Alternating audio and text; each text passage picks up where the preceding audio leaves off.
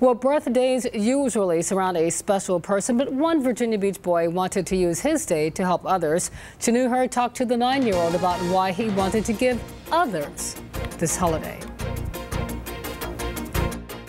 Nine-year-old Jedi Sanford in Virginia Beach wanted to make his birthday this year about more than just himself, and he has all these donations to prove it.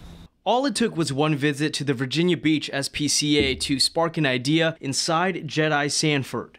I felt bad for all the animals at the shelter who didn't have homes. Although the family could only adopt one cat at the time, he wanted to help them all. So for his birthday, Jedi wanted to share with everyone. He told me that he wanted to donate all of his birthday instead of making it a day about him. He wanted to get, just receive uh, animal donations. In just a few weeks, Jedi and his mom Jennifer collected all of these donations. Dog food, um, I got some cat food, and I got um.